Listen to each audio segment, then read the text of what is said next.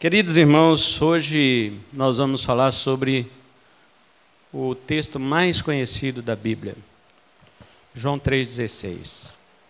E eu vou pregar, o título desta mensagem é o seguinte: João 3,16, como Jesus ensinou. Você pode repetir isso? Vamos lá, João 3,16. Como Jesus ensinou.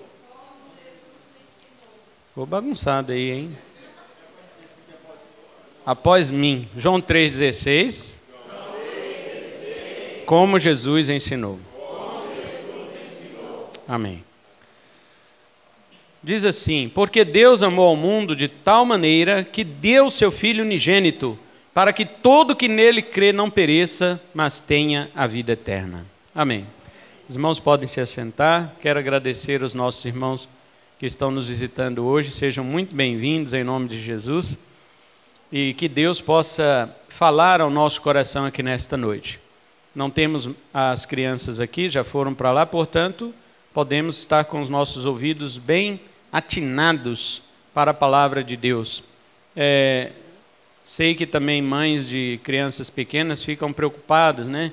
Quando escutam um gato miar, já escutam, acho que é meu filho que está lá. Né? Fica preocupado. Eu sei disso, porque eu tenho uma filha e dois gatos, então dá para confundir. O gato vai lá, briga com o outro, dá um berro, eu falo, o que, que foi, Mica? Né? Não é o gato. Amém. Queridos, João 3,16, como Jesus ensinou. João 3,16 é o versículo mais conhecido da Bíblia. Mas o fato de ser um versículo conhecido não significa que o seu conhecimento seja verdadeiro. Porque um versículo não é conhecido por você ter decorado, mas por você saber o seu real significado. E todo mundo já decorou este versículo. Todo mundo gosta deste versículo.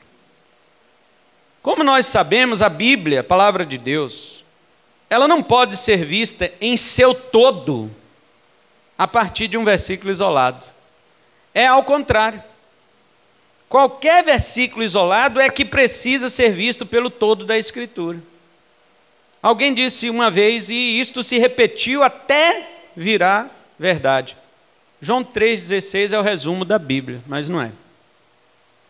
A não ser que ele esteja corretamente interpretado. Porque se for da maneira que todos ou quase todos falam, não é o resumo da Bíblia. É ao contrário, ele é um resumo do engano bíblico. E eu quero falar sobre algo muito profundo nesta noite e peço que você dê toda a sua atenção para esta palavra.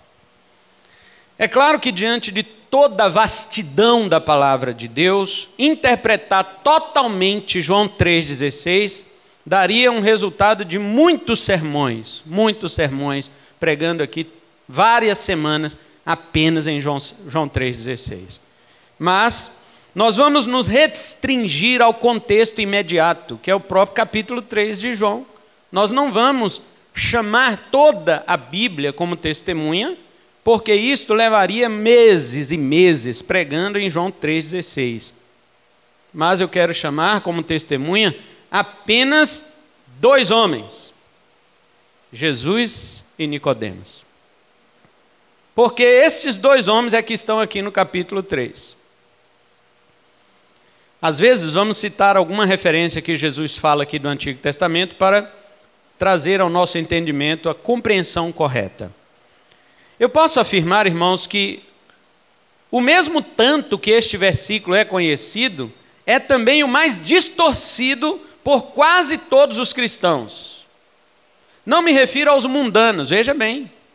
O mundano também sabe João 3,16 de cor. Mas eu nem estou falando deles, porque os mundanos não têm conhecimento nenhum da palavra de Deus e aquilo que eles fazem com ela, eles fazem o que querem. Eles falam da Bíblia o que eles querem. Eu não me refiro a eles. Eu estou me referindo aos crentes. Aliás, foi por causa dos crentes e não dos mundanos que este versículo ficou deturpado. Não foi por causa dos não foram os mundanos que deram um significado errado para este versículo, foram os crentes. E ainda mais, o entendimento errado que os mundanos têm hoje sobre este versículo é justamente porque muitos cristãos, em sua esmagadora maioria, levou esse entendimento errado para eles. E eu quero dizer algo mais. A conclusão que muitos mundanos tiram sobre o entendimento errado deste versículo é mais lógica do que o remendo que muitos crentes tentam fazer depois de bagunçarem com este versículo. Vou explicar. O entendimento errado da maioria dos cristãos é o seguinte: Pastor, qual é o problema com este versículo? Nenhum. O problema é com os crentes. O problema com os crentes é o seguinte: se o versículo diz que Deus amou o mundo, então isso quer dizer que ele amou cada indivíduo que está no mundo com amor salvador. É isso que todo mundo entende deste versículo. Deus amou o mundo, portanto, Deus amou todas as pessoas. Deus amou salvificamente, veja essa, esse detalhe. Amou salvadoramente todos os homens sem exceção. Aí agora cabe a você se você vai crer ou não no Filho de Deus. Não foi assim que a gente aprendeu? Deus amou todos, agora cabe a você. Foi assim que a gente aprendeu. Deus amou todo mundo, agora cabe a você se você vai crer ou não no Filho de Deus, para que você não pereça, mas tenha a vida eterna. Deus fez a parte dele que foi amar. Agora você faz sua parte que é crer. Não é assim que nós aprendemos? Ora, essa conclusão está errada. Essa conclusão está errada.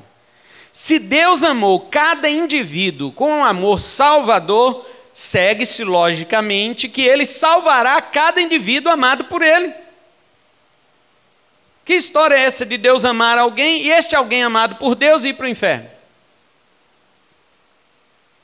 Se ele amou a cada indivíduo, todos os homens, sem exceção, o que Deus está fazendo que não salvou logo todo mundo? Esta a conclusão que muitos mundanos chegam e eles estão corretos.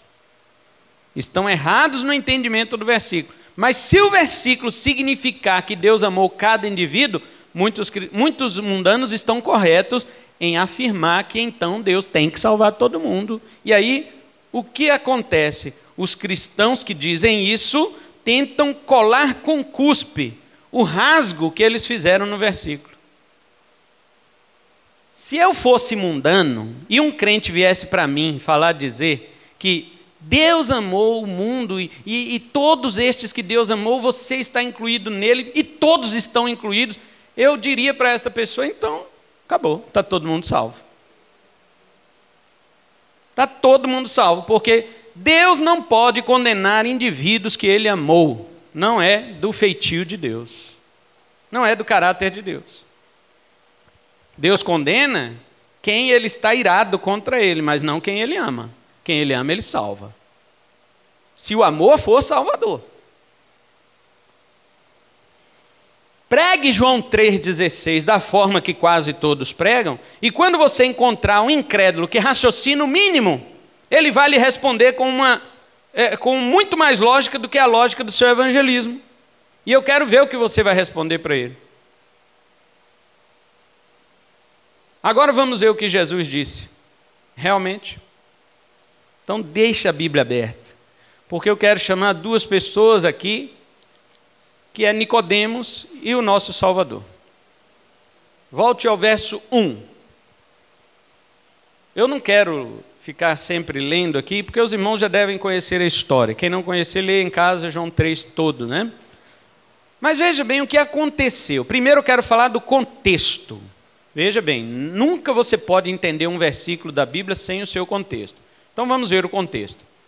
O nosso Salvador foi procurado por um fariseu chamado Nicodemos. Já conhecemos a história, de modo que não vou extenuar vocês com essa repetição.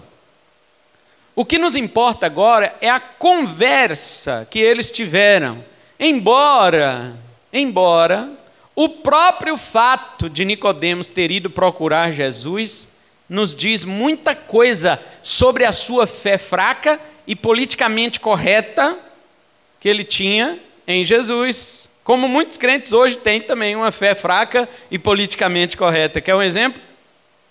Vou te dar, fazendo comparação do capítulo 3 e do capítulo 4. 3 e 4. Só para você ter uma leve diferença das coisas. Em 3, Nicodemos busca Jesus. Em 4, Jesus busca a mulher pecadora. Em 3, Nicodemos vai ter com Jesus à noite. Em 4, Jesus vai ter com a mulher meio-dia. Ele é a luz do mundo. Em 3, Nicodemos não entende absolutamente nada. 4, a mulher acaba percebendo que ele é o salvador do mundo.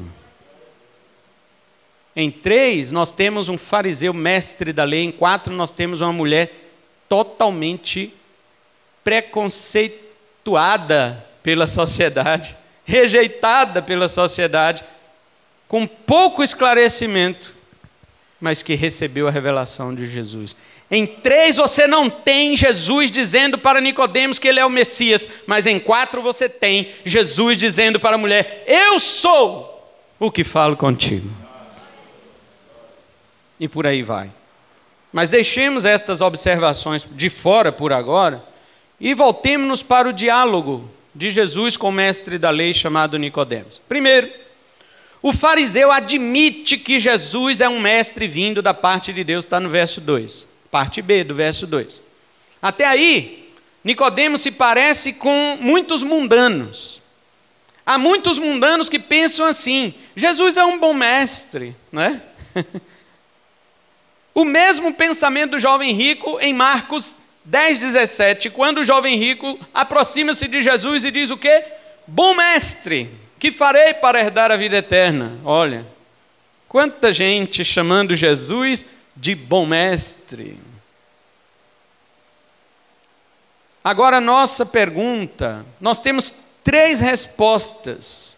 Temos três respostas. Uma de Jesus para Nicodemos, uma de Jesus para o jovem rico e uma que nós devemos dar para os mundanos. A nossa para os mundanos é o seguinte: se Jesus é um bom mestre, você o admite como Salvador único, que ninguém mais pode salvar a não ser Ele? Se você acha que Jesus é um bom mestre, Ele é o único caminho para Deus? A maioria vai dizer que não, porque, de acordo com a opinião popular, todo caminho leva a Deus. Alguns vão dizer sim, sim. Aí você devolve com outra pergunta: então por que você não se entrega a Ele agora? Se Ele é o único caminho para Deus, por que você não se entrega a Ele agora? Ou você não quer ir para Deus, ou você acha que tem outro caminho para ir para Deus. Agora, esta, a resposta de Jesus para o jovem rico em Marcos 10, 18 foi a seguinte: só há um bom que é Deus. Por que me chamas bom? Só há um bom que é Deus. O que Jesus está dizendo? Se você não me reconhecer como Deus, não adianta me chamar de bom.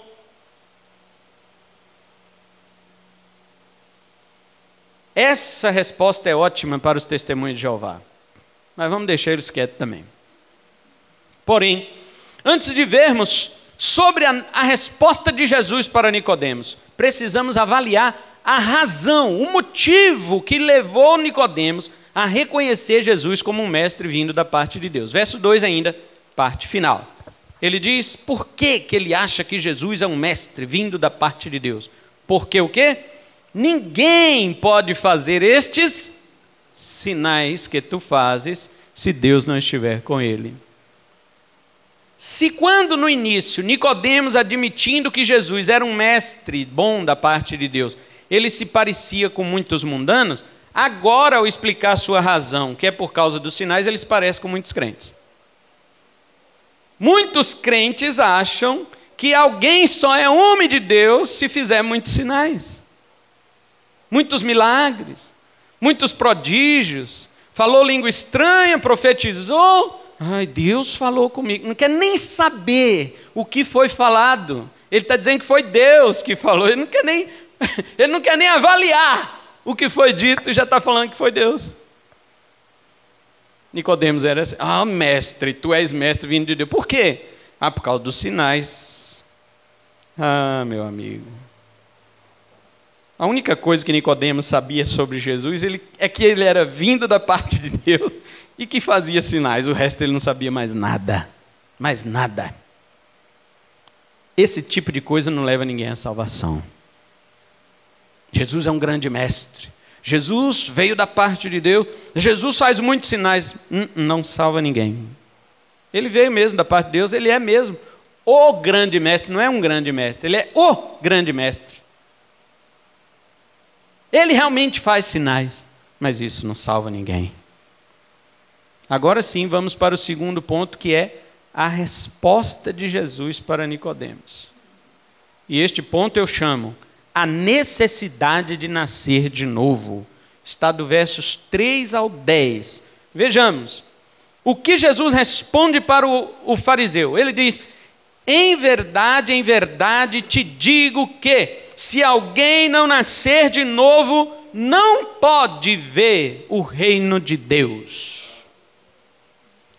Quando você estiver lendo a Bíblia, preste atenção aos conectivos. O que são conectivos? São pequenas palavras, conjunções. São palavras de conjunções que fazem ligação de um versículo a outro. Na, na minha versão está escrito bem assim: A isto respondeu Jesus. Aí você faz a pergunta: A isto o quê? A isto o quê? A resposta é: A esta fala de Nicodemos. A esta intuição de Nicodemos respondeu Jesus. Jesus estava focado na, na palavra de Nicodemos. Jesus estava agora atento. Você acha que eu sou um bom mestre vindo da parte de Deus? Por que eu faço sinais? Tudo bem. Baseado nisso, eu vou te responder. E olha a resposta. É, guarda esse negócio, porque lá no verso 16 também tem um conectivo. João 3,16 tem conectivo lá. E nós vamos usá-los para interpretar o versículo. Jesus responde a Nicodemos o seguinte: só pode ver o reino de Deus, Nicodemos, quem nascer de novo. Observe, Jesus não está falando nada de crer. Jesus está falando de crer? Nicodemos, só vai entrar no céu quem crê. É isto? Não. Jesus está dizendo, só vai entrar lá quem nascer de novo. Nicodemos estava dizendo que a, o fato de Jesus Cristo ter vindo de Deus, mas não é do céu, tá? Para Nicodemos, o fato de Jesus ter vindo de Deus não quer dizer veio do céu, não. Vir de Deus é como um profeta, igual João Batista também veio enviado por Deus. Tem nada a ver esse negócio veio do céu, não. Não, não, não, não, não, não, não. Esquece isso. Ele está reconhecendo Jesus, no máximo, como um dos profetas da antiga aliança, que foi foram enviados por Deus. Mas não que vieram do céu. Agora Jesus faz o caminho inverso. Antes de falar, Nicodemo, de quem veio do céu, eu vou te falar de quem deve ir para o céu. É aquele que tem que nascer de novo. É a pessoa que nasce de novo que vai entrar lá. E antes de você crer, como lá no 16 ele vai falar de crer, né? Aquele que nele crê não pereça. Antes de você crer, você tem que nascer de novo. Guarde a sequência. Jesus está ensinando o que significa João 3,16. Não é assim, ah, eu vou crer em Jesus e estou salvo. Não, não, peraí. Primeiro você tem que nascer de novo. Primeiro você tem que nascer de novo. Agora veja o espanto de Nicodemos e a sua pergunta idiota no versículo 4. Ele, ele disse o seguinte: é, como pode um homem nascer sendo velho? Veja, já é idiota esta pergunta. Agora veja que ela piora. A pergunta idiota de Nicodemos piora. Mestre da lei, respeitadíssimo entre os fariseus. Veja que tola pergunta. Como pode um homem nascer sendo velho? Agora ele piora a sua pergunta. Porventura pode voltar ao ventre de sua mãe e nascer segunda vez? O que isto, o que isto quer dizer? O que nos mostra isto? Mostra o que Paulo já disse em 1 Coríntios 2,14: que o homem natural, ou seja, aquele que não nasceu de novo, não compreende as coisas do Espírito, porque para ele são loucura. Estas coisas se entendem espiritualmente. Para você entender as coisas de Deus, você tem que nascer de novo. E mostra que Jesus estava coberto de razão quando ele disse para Nicodemos que ele não havia nascido. Está vendo, Nicodemos? Sua pergunta só prova o que eu acabei de falar. Que você não nasceu de novo. Você não entendeu. E o homem que não nasceu de novo, ele não entende, não adianta. Esse negócio de dizer assim, o pastor prega muito difícil, é bobagem. É bobagem. Você só vai entender se você nascer de novo. A palavra traduzida para de novo aqui, no grego, significa duas coisas: significa de novo e significa do alto. Lá em Colossenses 3,2, Paulo diz assim: pensai nas coisas do alto e não na ação da terra. E quando ele fala do alto, lá em Colossenses, ele usa a mesma palavra grega que Jesus usou aqui. Então, se Nicodemos sabe que é impossível um homem entrar no ventre de sua mãe e nascer de novo, por que, que ele não pensou na segunda hipótese do significado da palavra? Bom, nascer de novo no ventre da minha mãe não tem como, isso é impossível. Agora, esta palavra tem outro significado. Nicodemos sabia que ela tinha outro significado. Todo judeu sabia. Por que, que ele não pensou no outro significado? Jesus está falando de nascer do alto. Deixa eu entender isso aqui. Não, ele não vai entender. De baixo nós já nascemos, agora o que nos falta é nascer do alto. Nicodemos podia ter entendido, mas ele fez essas perguntas tolas, mostrando que o homem que não nasceu de novo não compreende absolutamente nada das coisas do Espírito. Agora Jesus vai facilitar para ele. No versículo 5, Jesus diz para ele assim: Nicodemos, falar em outras palavras aqui, né? Nicodemos, nascer de novo, meu filho, é nascer da água e do espírito. Nada tem que ver com sua mãe. Deixa a pobre senhora lá. Deixa sua mãe quietinha. Nada tem que ver com ela. Tem a ver com nascer da água e do espírito. Aliás, Davi falou, né? Em pecado, minha mãe já me concebeu. Se for para nascer segunda vez e nascer pecador de novo, eu já estou nascendo na segunda morte, ué.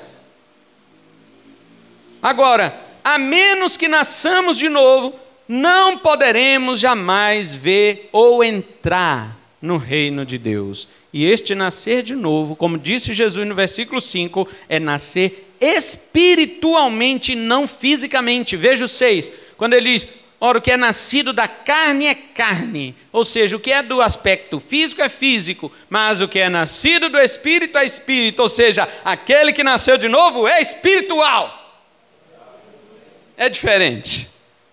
Eles têm origens diferentes. Quero só salientar se alguém estivesse perguntando o que, será nascer da água e do Espírito, né? Será que é o batismo nas águas? Tem um monte de gente falando um monte de coisa. Deixa eu só passar rápido, porque não é esta a nossa intenção. Água e Espírito aqui, aqui significa a mesma coisa. Porque a construção da frase grega é assim: aquele que não nascer da água, que também é o Espírito, não pode entrar no reino de Deus. É o que Paulo chama em Tito 3,5 de lavar regenerador e renovador do Espírito Santo. O Espírito usa a água da palavra de Deus, quando você está ouvindo o Evangelho, para te lavar e te faz nascer desta água, que é a palavra que limpa e purifica. E este mesmo Espírito entra em você e renova o seu entendimento para as coisas de Deus. Agora Jesus vai para uma, uma questão impossível para os homens. Verso 7 ele diz: importa-vos nascer de novo. Olha, eu quero que vocês. Vamos ler. Agora o 7 eu quero ler, porque eu quero que vocês prestem atenção nas coisas da, do português, do que foi traduzido sua Bíblia aí. E no grego está assim também. Jesus diz o 7 assim: não o quê? Não ti, ti, te-e. Isso é um pronome oblíquo da segunda pessoa do singular. Pronome oblíquo. O pronome reto é tu. Mas quando vai associar o pronome a um verbo, usa-se obliquamente. Não te admires. Deus, Jesus está falando para ele, você, singular. Não te admires de eu te dizer. Agora, olha, importa vos nascer de novo. Vos aqui é o que? Plural. Olhem para mim agora. Olhem para mim. Aqui, para mim mesmo. Eu sou feio, mas não dói não. Jesus olha para Nicodemos e diz assim: Não fique maravilhado. Você não fique nossa, pasmo Nicodemos. Não fique admirado, não fique se perguntando você. Não fique. É necessário, importa que todos vocês nasçam de novo. Nicodemos se sentiu o verme do cocô do cavalo do bandido. Agora ele foi humilhado. Agora ele se sentiu ninguém. Porque Jesus está dizendo que esta é uma necessidade universal. Jesus passa do singular para o plural. Nicodemos, você está assustado, mas nascer de novo, ou de cima, ou do alto, é uma necessidade para todos vocês. Perceba que até agora Jesus não falou nada do amor de Deus. Deus amou Nicodemos, Deus te ama. Foi isso que Jesus falou para ele? Você esqueceu do 16 já, né? Não esquece não, o que eu estou falando é dele. Deus amou. Amou? Tá. Vamos lá. Deus amou, mas vamos ver. Jesus não está falando nada de amor. E nem de crer. Ah, que todo aquele que nele. Não. Espera aí, meu filho. Antes de você provar o amor de Deus e antes de você poder crer é necessário, é importante, é de suma importância você nascer de novo. Aí é óbvio que a pergunta de todo mundo seria o quê? O que eu faço para nascer de novo? Mas a resposta está no 8. A resposta Jesus Cristo dá falando sobre o livre-arbítrio do Espírito Santo e não do homem. O homem não tem livre-arbítrio, quem tem é o Espírito Santo. Veja o que Jesus diz no versículo 8. Ele diz o seguinte: o vento, a palavra vento no grego, pneuma, e espírito, pneumatos. Jesus está falando, ele está usando a mesma palavra grega de vento e espírito para dizer uma verdade para Nicodemos. Nicodemos, o pneuma não sopra onde quer, por acaso alguém manda no vento, Nicodemos? Alguém manda no pneuma? Nicodemos, alguém sabe de onde o vento vem para onde ele vai, Nicodemos? Não, não, não sabe. Assim é aquele que é nascido do pneumatos. O Espírito Santo, Nicodemos, tal qual o vento, ele sopra em quem ele quer. Você não pode fazer nada para nascer de novo. Mais uma vez Nicodemos cai arriado ao chão e a sua palavra no versículo 9 é totalmente desoladora. Mas antes disso, o trocadilho que Jesus faz, Nicodemos conhecia, porque o Antigo Testamento é cheio de trocadilho no hebraico. Nicodemos conhecia todos. Né? Deus usar palavras parecidas para expressar verdades iguais. O que Jesus está dizendo que o Espírito é livre como um vento para fazer essa operação do novo nascimento em quem Ele quiser. Eu pergunto para você hoje aqui: você escolheu nascer do seu pai e de sua mãe? Sim? Claro que não. Se nem o seu nascimento físico você escolheu, você vai escolher o espiritual? João 1,13, no capítulo 1, verso 13, Jesus Cristo diz que aqueles que creem em Jesus, olha só, os que creem em Jesus não nasceram do sangue, nem da vontade da carne, nem da vontade do varão, mas de Deus. Não tem sua vontade, não tem sua participação. Quem escolhe é Ele, e como disse o verso 7, nascer de novo é uma necessidade universal e não uma capacidade universal. Jesus não está falando que você é capaz, ele está te falando que você deve. Ele está te falando que isto é tua necessidade e não tua possibilidade ou a tua capacidade. Só mais um detalhe, no verso 8 aí, quando Jesus diz, assim é aquele que é nascido do Espírito, essa palavra assim, assim, está escrito na Bíblia, assim, no verso 8? Guarda essa palavra porque ela vai repetir no 16. Não esquece 16 não, tá? Estou falando é dele. Esse assim aí do 8 vai estar tá lá no 16, embora na nossa Bíblia não esteja. Por isso muita gente interpreta errado, mas vamos lá. Essa palavra assim significa dessa forma, dessa maneira, tá? Mas vamos lá. Versículo 9, o desespero de Nicodemos. Ele diz: "Como estas coisas podem ser assim?" Nicodemos perdeu o controle de tudo. E é isto que o evangelho faz. Se você prega o evangelho para as pessoas lá fora, mas deixa estas pessoas com a sensação de que elas estão no controle, não foi o evangelho que você pregou.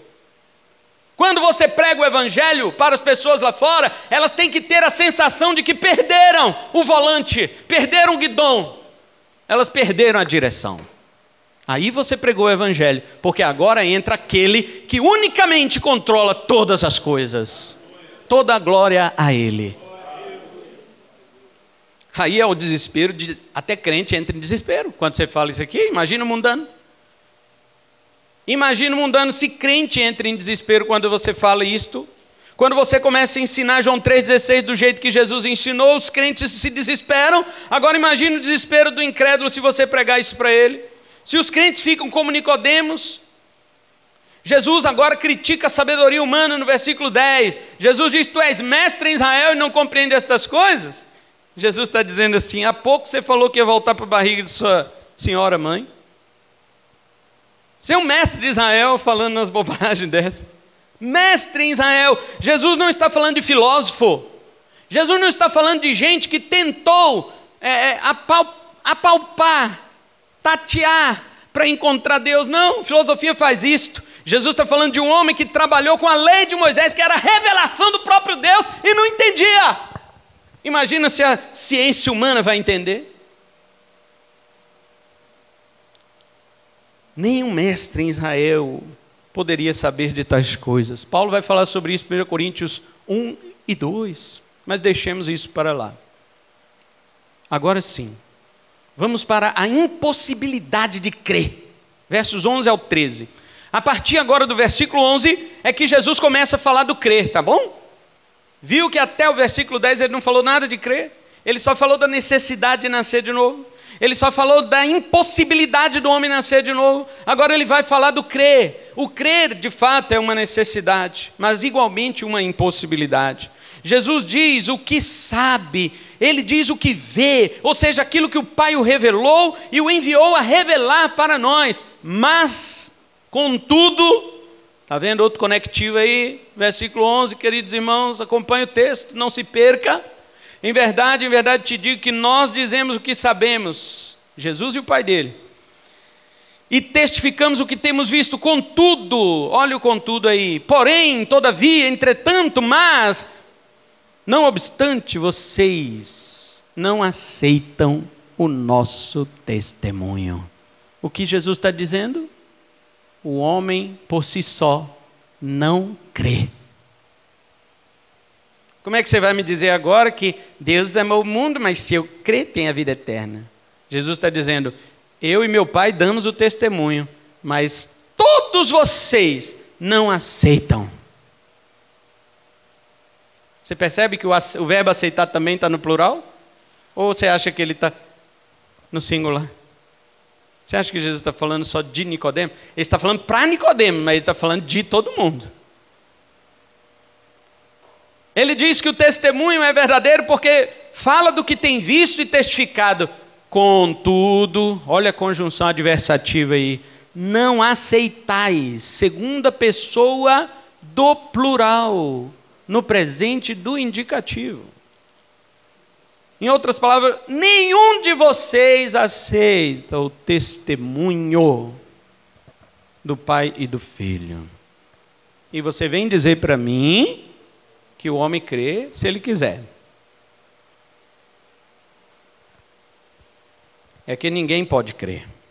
O homem que não nasceu de novo simplesmente não pode aceitar o testemunho do próprio Jesus. Imagina o nosso.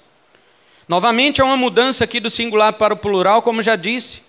Jesus diz a Nicodemos, mas ele fala sobre todos nós. Em verdade, te digo que vós não aceitais o nosso testemunho. Esse entendimento do que eu estou dizendo é reforçado no versículo 12. Olha o 12. Se tratando de coisas terrenas não me credes, como crereis se vos falar das celestiais? Isso se chama pergunta de retórica. E para quem sabe o que é pergunta de retórica, já entendeu a resposta lógica dessa pergunta de Jesus. Deixe-me agora ampliar esta pergunta. Como você pode dizer que João 3,16 fala que Deus amou cada indivíduo, bastando apenas que quem quiser creia em Jesus para não perecer, mas ter a vida eterna? Se Jesus está claramente dizendo que nós não podemos crer nem nas coisas terrenas, quanto mais nas celestiais. Se vocês não me creem quando eu falo do que é terreno, como vocês podem crer se eu falar das celestiais? A salvação é um assunto celestial, e quando se fala dele da maneira que Jesus Cristo ensinou, os homens não podem crer, é o que Jesus está dizendo. Lembre-se, nós já falamos no primeiro ponto, a menos que você nasça de novo, de maneira nenhuma você poderá crer. Crer é uma ação própria de quem já nasceu do alto, lá do pai, e não de quem nasceu da mãe é de quem nasceu do Pai, com P maiúsculo. E como vimos no versículo 8, o Espírito de Deus que nos faz nascer de novo, ele só faz se ele quiser. Assim como o vento que sopra onde quer. A conclusão lógica, necessária e contextual é que não podemos nascer de novo, consequentemente, não podemos crer sem nascer de novo, você não tem a natureza da fé que te leva a crer. E você não pode nascer de novo por seu próprio querer, pois nem fisicamente você escolheu nascer, quanto mais espiritualmente. Você percebe que você não pode fazer nada para ser salvo? Enquanto você não perceber isto, você não é pobre de espírito. E Jesus disse que são bem-aventurados quem? Os pobres de espírito. Porque os pobres de espírito, ao ouvir uma palavra dessa, eles caem no chão sem nada nas mãos. E eles dizem: Nada tenho, Senhor, para te oferecer, somente em tua cruz eu me agarro.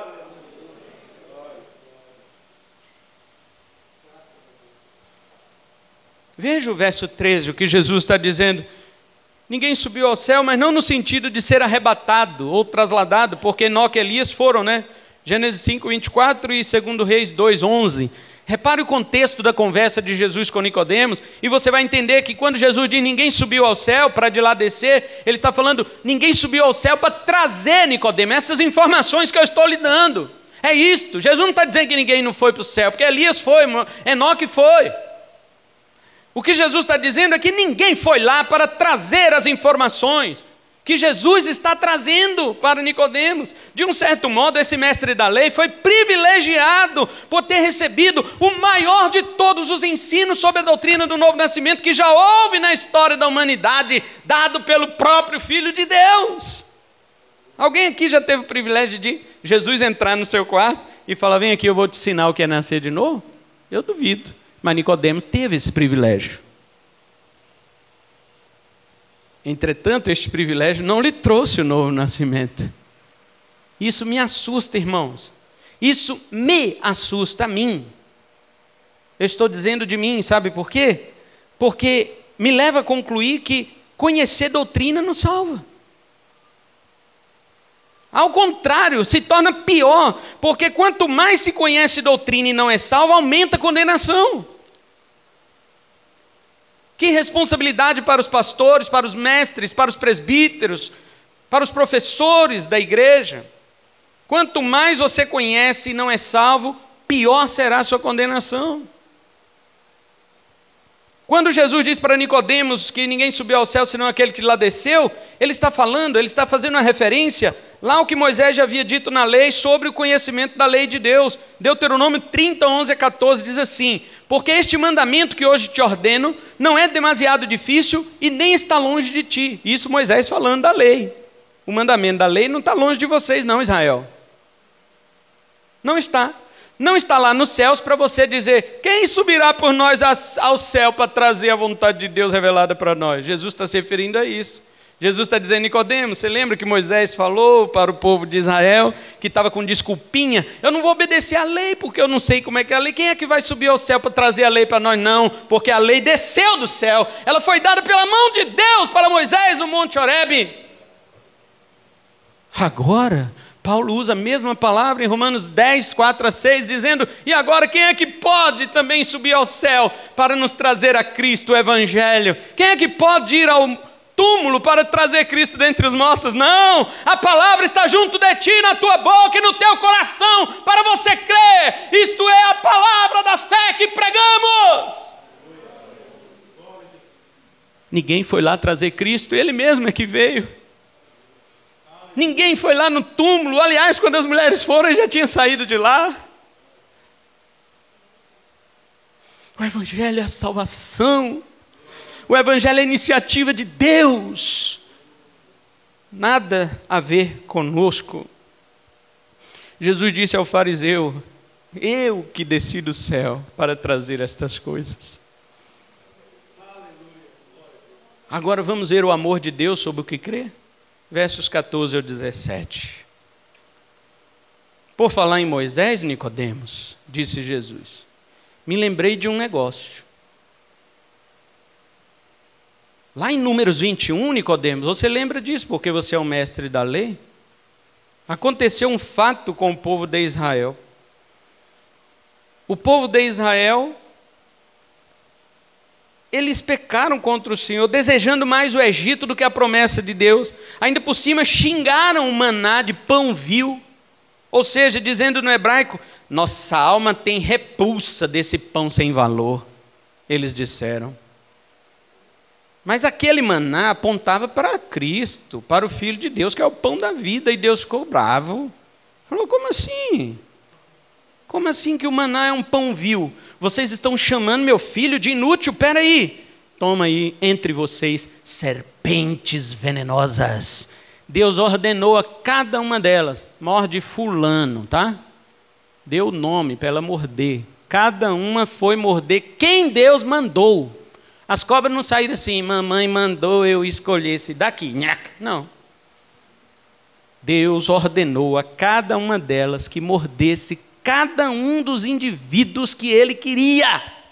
E aquelas cobras obedientes, mais do que crente, foram e morderam de modo que aquelas pessoas começaram a morrer e morreu muita gente. O povo então arrependido, eu estou só resumindo a história, tá? Depois você lê Números 21 em casa. O povo arrependido foi ao encontro de Moisés, pelo amor de Deus, mas é nós pecamos contra o Senhor. Ora ao Senhor para parar com essas cobras venenosas em nosso arraial. E Moisés orou e Deus disse: Sabe o que para ele? Agora eles vão ver meu filho. Não viram meu filho no pão, vão ver meu filho na cruz. Faz uma cobra de metal.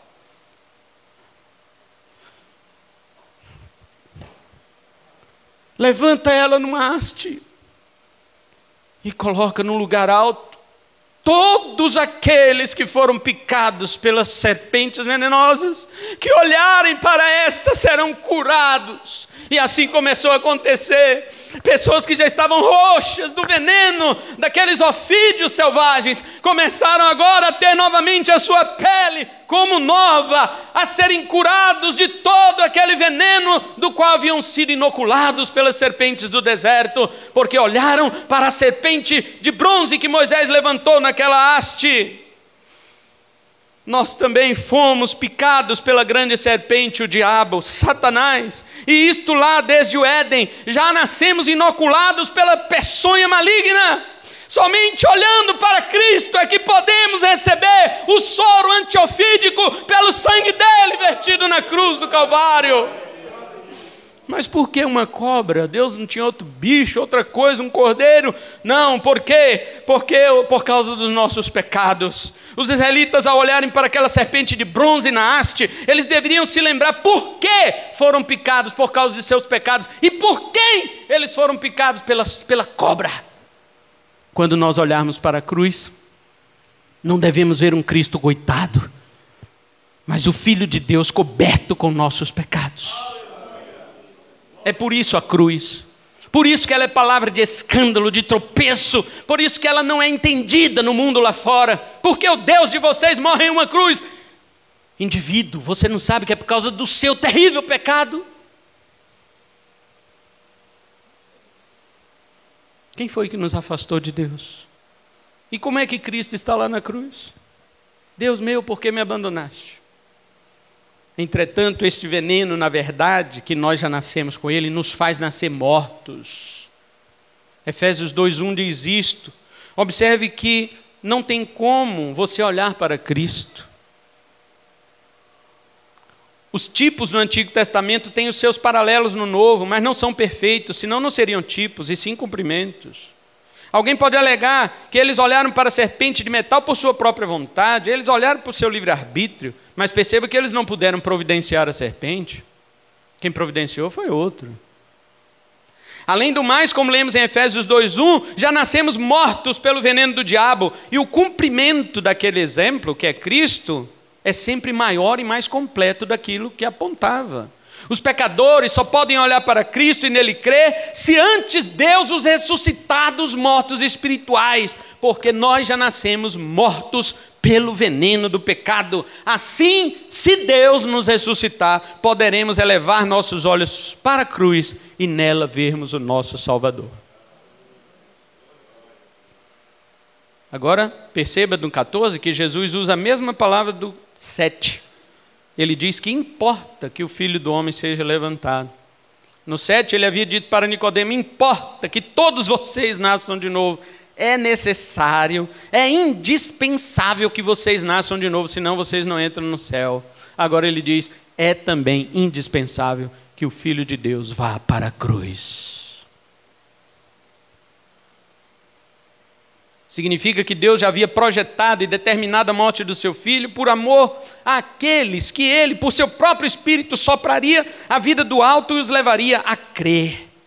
Só para constar também, ele repete a mesma palavra assim, do verso 8, não está aí? Assim como Moisés levantou a serpente no deserto, não é isso? Pois é, esse assim está no 8, está no 14 e vai estar no 16 que nós vamos chegar agora. Pronto, chegamos no 16. E já podemos compreender muita coisa sobre ele, mas prossigamos no entendimento. No grego diz bem assim, preste atenção como está escrito no grego. Eu estou utilizando as mesmas palavras que foi traduzida nos outros versículos, tá? Está escrito assim: Assim, pois, Deus amou ao mundo. Não está escrito de tal maneira no grego. No grego está escrito assim, no lugar de tal maneira, está escrito desta forma: Deus amou o mundo. Prestou atenção no conectivo? Perguntou o óbvio? De que maneira Deus amou o mundo? A resposta é assim: assim. Assim como? Você leu antes, no 14? Obrigando importando, tornando necessário que o filho dele, como aquela serpente, fosse levantado para salvar o que nele crê. Em outras palavras, e eu vou dizer o versículo de outra forma: levantando seu filho na cruz, Deus amou o mundo, que o filho unigênito ele deu, para que todo que crê para dentro dele não pereça, mas tenha a vida eterna. Já ouvimos tantos pregadores dizer, sabe o quê?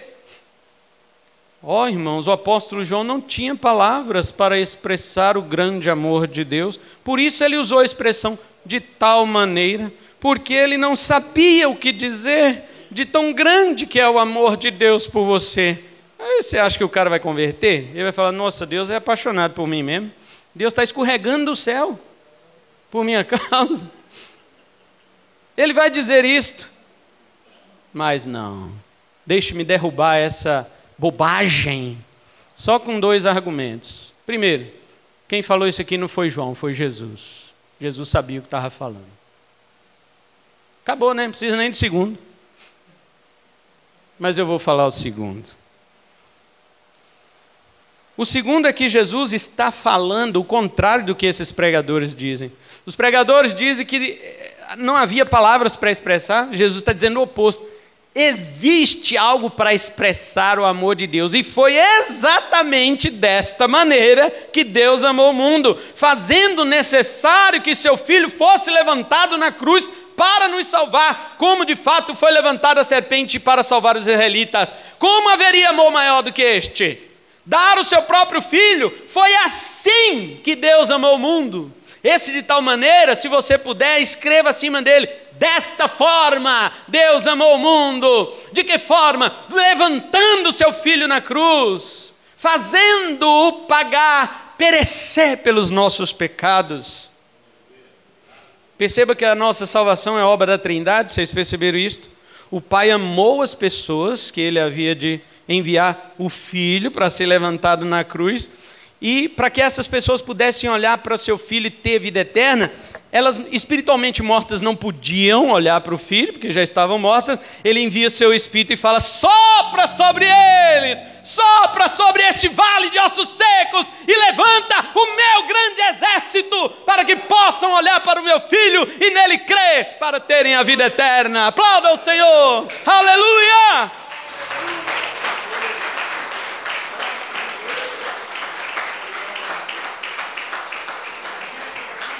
É só por isso que você conseguiu olhar para a cruz. A pergunta é: que participação tivemos nisso? A não ser depois que ele nos fez nascer de novo, só assim nossos olhos foram erguidos para a cruz do Salvador. Percebe a impossibilidade de crer? Mas você percebe junto a isso o amor de Deus? Se ele tivesse amado assim cada indivíduo, igual os caras falam por aí, quem teria se perdido? Se Deus amou assim cada pessoa, quem poderia ir para o inferno? Elas perecem não é somente porque não creem, mas porque não podem e não querem crer. E vou finalizar com a ira de Deus sobre o que não crê. Guarda um momento, irmão. Hoje é dia de João 3,16. Tá bom? Fica tranquilo. Fica tranquilo. Não vou demorar, é só para encerrar. Já falamos do novo nascimento, falamos da fé, do crer. Agora vamos falar do que não crê. Verso 17 explica ainda o 16. E é muito clara essa explicação. Veja outro conectivo, pois, ou por quanto, não é isso? Está explicando o 16. Deus não enviou seu filho ao mundo para julgá-lo, é o que diz o 17, é ou não é? Deus não enviou seu filho para julgar o mundo. Claro, na primeira vinda do Salvador, ele veio para salvar e não para julgar. Mas Jesus continua dizendo que veio para salvar o mundo, o mesmo mundo do verso 16 ao qual Deus amou, não é? Você não pode trocar aqui o sentido. Se Deus amou o mundo no verso 16, ele enviou seu filho a este mundo que ele amou para quê? Para salvar e não julgar, não condenar. É o que está escrito no 17. Se fosse cada indivíduo como é pregado erradamente, então Deus falhou em seu propósito, porque está escrito para quê? Para quê é propósito? Porque é razão. Pois Jesus diz que Deus enviou o seu filho ao mundo para que o mundo fosse salvo por ele. E agora, José? Deus envia seu filho para um propósito que é salvar o mundo, ao qual ele amou, e esse mundo são todas as pessoas. Seu filho vem, mas não consegue salvar todo mundo que Deus amou. Esse Jesus é incapaz igual nós. E aí? Porque se Deus enviou seu filho ao mundo para salvar e não para julgar, e este mundo é todo mundo, então não pode ter julgamento, só pode ter salvação. Alguns vão dizer assim: ah, mas é porque as pessoas não creram.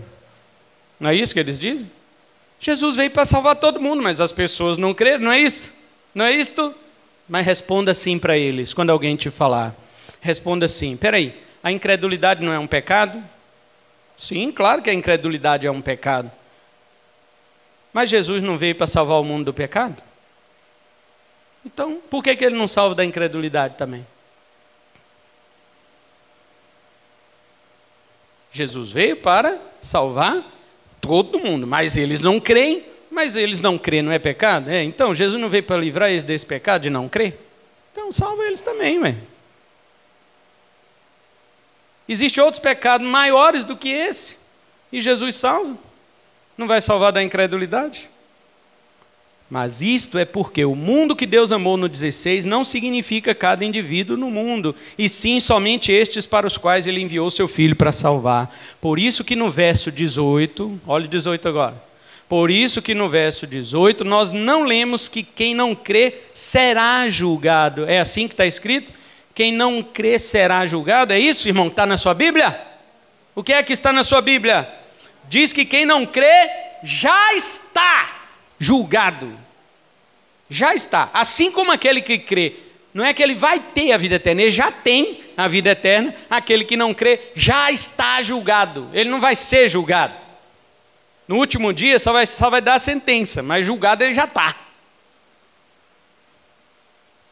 Agora, por quê? Porque está escrito no 18: porque não creu no nome do unigênito Filho de Deus. Agora eu pergunto: por que, que esse cara não creu, gente? Vamos deixar Jesus responder. Porque ele não nasceu de novo.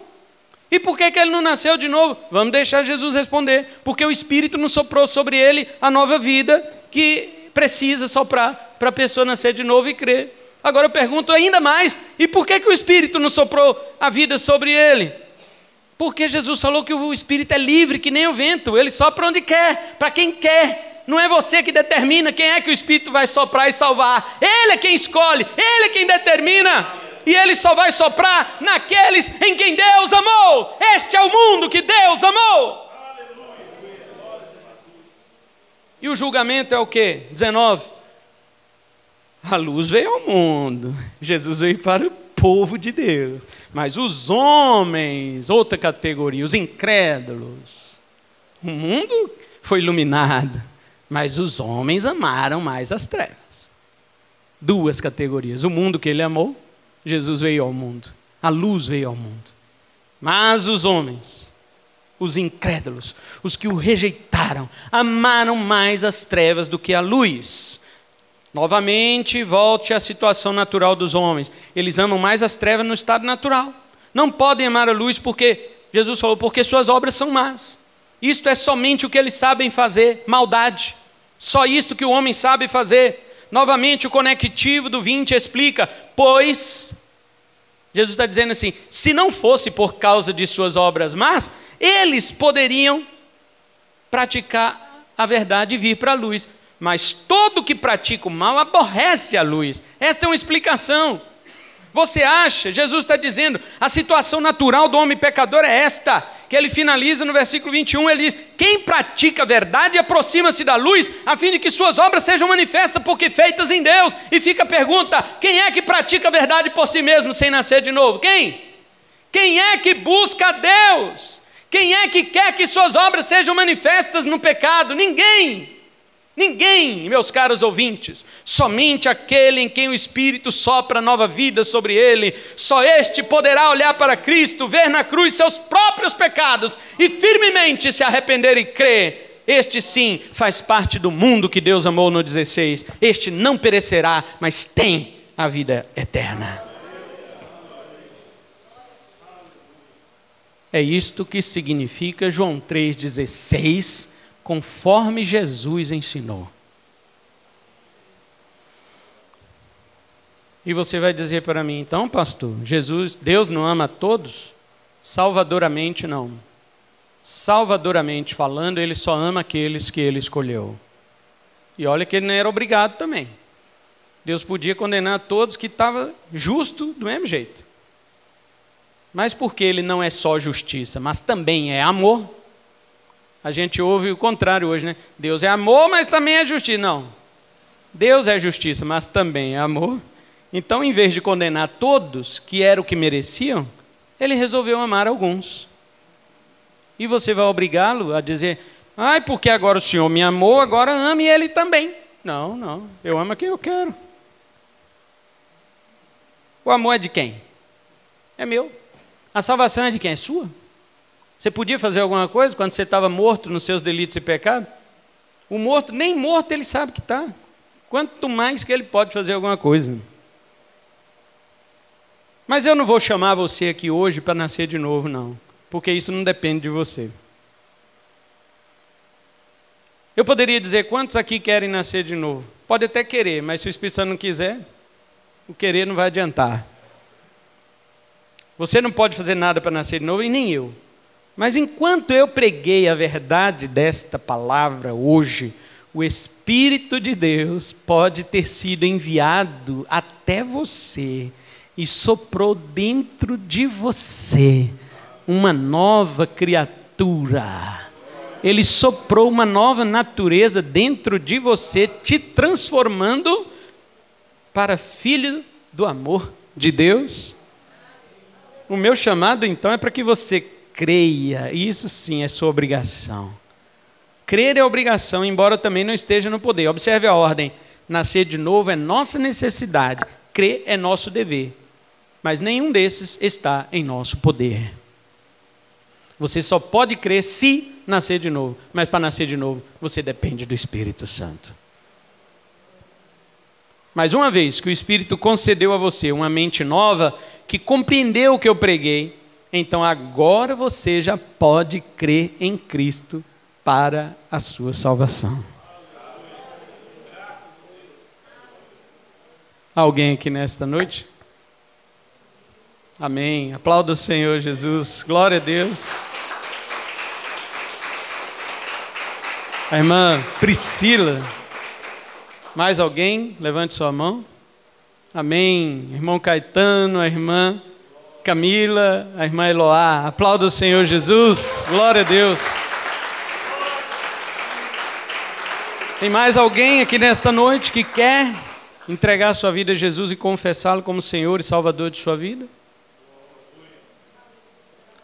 Eu não posso fazer você nascer de novo. Quem pode é o Espírito Santo. A única coisa que eu posso é pregar a verdade.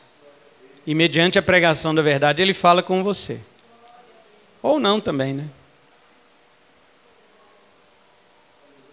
Quero convidá-los aqui à frente, por gentileza. Acompanhe eles, por favor.